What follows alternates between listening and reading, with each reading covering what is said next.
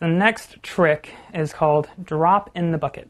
Um, it's a cool looking trick. It looks kind of like a mount, um, but it's it's fun to learn and it's pretty impressive.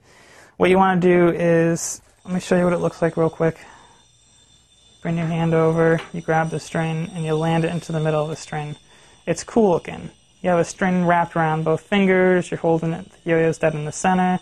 Later on, I'm going to teach you a cool trick where you balance it in it, but for now, you're just learning how to land it into it. What you want to do is you throw a breakaway.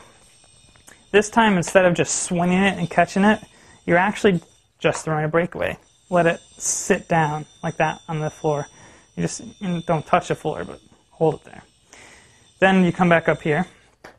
What you want to do is take your non-throw hand and instead of being on this side of the string, branch to the other side of the string, like so. Let me point this way so I can show you. Comes like so. Make an L again with your non-throw hand, and you bring the string around your thumb. Bring the string around your pointer, like that. It's kind of like if you made like a, a gun shooting motion, like that. It comes around your thumb, comes around your pointer finger, like so.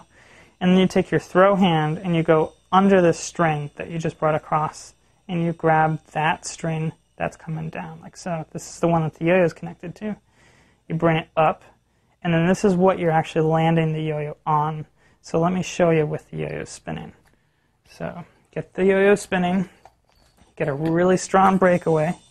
It comes around. I come underneath and grab this string.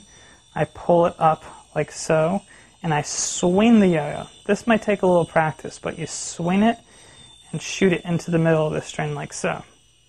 It's called drop in the bucket. Once you're out of there, just swing it back out and catch.